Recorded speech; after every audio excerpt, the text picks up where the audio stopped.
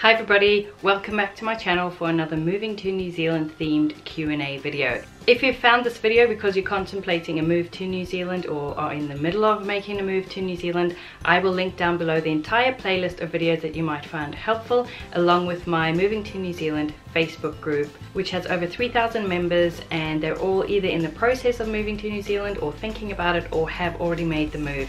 It's a great place to network and connect with people who are sharing the same experience as you.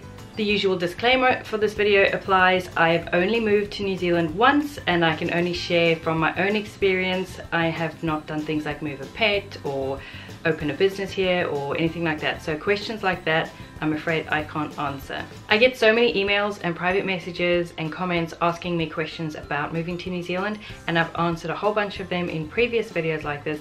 So I'm just gonna dive into these questions which I haven't answered before. Have you ever felt resented because you are an immigrant? No, I can't say that I personally have ever felt resented. I'm not saying it doesn't happen, but it's just not something that I've experienced. Are there any household items that you now wish you would have shipped that you didn't? No, because we shipped everything and that is my advice is just ship everything. The only things we didn't ship were our tumble dryer, our washing machine, and our vacuum cleaner. We didn't want to have to go to all of the trouble of thoroughly cleaning and disinfecting our vacuum cleaner and bring it over because it was pretty old and it could do with replacing anyway. The washing machine we needed to use right up until we left or at least right up until the packers came and we weren't confident that we could fully dry out all of the pipes and that mold wouldn't grow in it so we decided to leave that as well and tumble dryer was also pretty old and MAF doesn't like the lint and seeds and pollen and dust issues in that. So again, we didn't want to have to thoroughly clean it and bring it over when it was quite old. So those three things we didn't bring. I don't regret not bringing them. And when we went to buy new, we asked for a discount because we we're buying all three together and we got a discount. So no, the answer is I don't regret not bringing anything and I would advise just bring everything. Do you have any tips or advice on how I can take my husband with me on working holiday visa?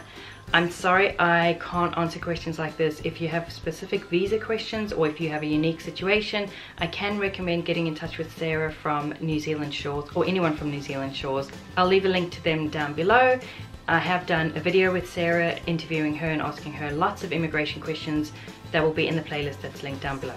Okay, I get lots of questions about particular areas in New Zealand, like which areas of Queenstown should I move to, or can I recommend a school in Wellington, or things like that. And we moved to New Zealand, lived in Pukekohe when we first arrived, and I now live in South Taranaki. And those are the only areas that I have experience with, and those are the only areas that I could really advise on. Which streets to avoid, which schools to look for. I can't advise you on any other areas in New Zealand, I'm sorry. You're just gonna have to find maybe a local group on Facebook and ask in there, but that's not something I can help you with. Which cell phone provider is best? I know it can be daunting when you're looking at different cell phone providers and you don't know which one is the one to choose, but there is no one right answer because it depends on which area you live. When I lived up in Auckland, I used Vodafone and I had great coverage and I didn't have any problems. When we moved to South Taranaki, I didn't get any signal. I was constantly struggling with signal, so I switched to Skinny and now I have no problems whatsoever. What I would recommend is when you come over and you've got your phone, just go and buy a prepaid SIM card. I think it's like $5 and you might have to buy $20 of credit and just use it and then see which one gets the best coverage and then that's the one to stick with. So try a few different ones before you go and tell everyone your phone number, decide which one works for you and then you can tell them that's your number and that's the provider you're gonna go with. I would just factor that into your moving costs. As for which one is best in terms of cost, they're all much of a muchness. They each offer different special offers. Like I said, I use Skinny. I do pay as you go. I pay $16 a month and with that I get unlimited texts in New Zealand. I get way more minutes than I ever use on phone calls and we don't have a landline and I get a certain amount of data as well. So that suits me. How does it work when you are settled there if I want my mom to come and visit?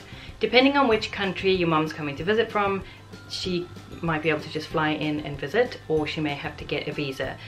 Again, I can only speak from my own experience. My dad comes over to visit from South Africa and he has to get a visa before he comes, like a visiting, a visitor's visa.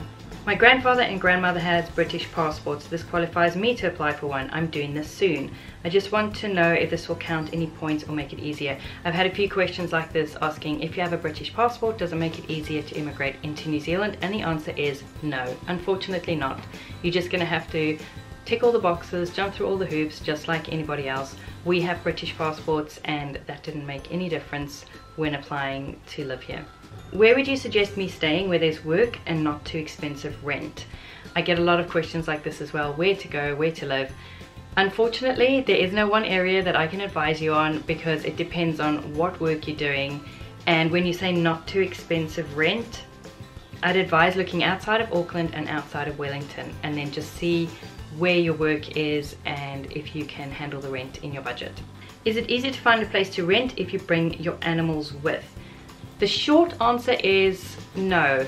I wouldn't say it's easy. The longer answer is it's gonna create a bit of complication, but it's not gonna be impossible. And if you just mention and ask about a pet and describe your pet situation when applying for houses, even if they say no pets, you may get lucky, especially if it's for rent by owner and there isn't an agency involved.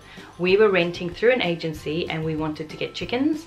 And so we approached the agency to approach the landlord and ask if we could have chickens. This was up in Auckland and he said yes. And then later we got a dog and we approached them again and asked could we have a dog and they said yes so long as the dog is an outside dog and we had to sign an extra page on the contract and I think we had to pay extra deposit. I'm not sure about that. It's always worth asking, especially if you have an outside dog or a pet that's not like, if you have five big dogs that are indoor dogs, as a landlord, you're not gonna be interested really. I'm sure that would be quite daunting to think of tenants coming in with that kind of a pet situation. But if you have a rabbit who lives in a hutch in the garden, or if you have a cat, cats kind of come and go, they may be more open to it. So I would just ask I would spell out the situation with your pet, try and ensure that your pet is as low impact as possible on the property and it's worth a try and you will find some places, it's not impossible. If you are not yet on a permanent residency visa, is the public schooling system around the same cost as it is in South Africa? I don't know what the schooling costs are in South Africa currently. We left before we had children, we left South Africa in 1999. If you're new here, we moved to England then and we moved from England to New Zealand in 2011.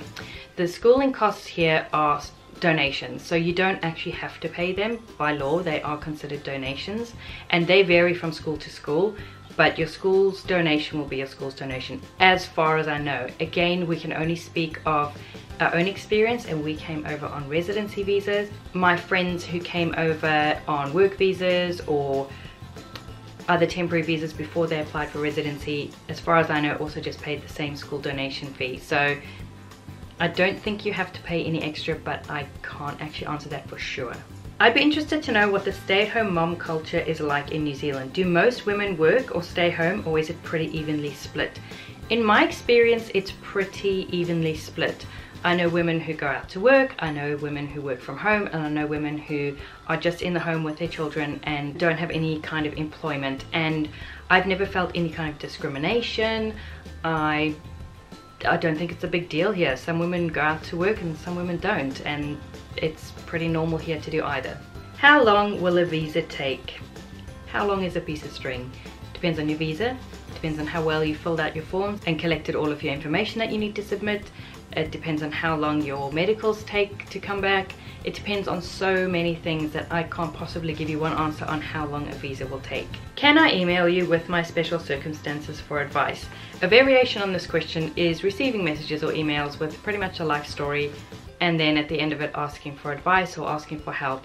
Like I said before, I can't give advice. I'm not qualified to, I'm not legally allowed to.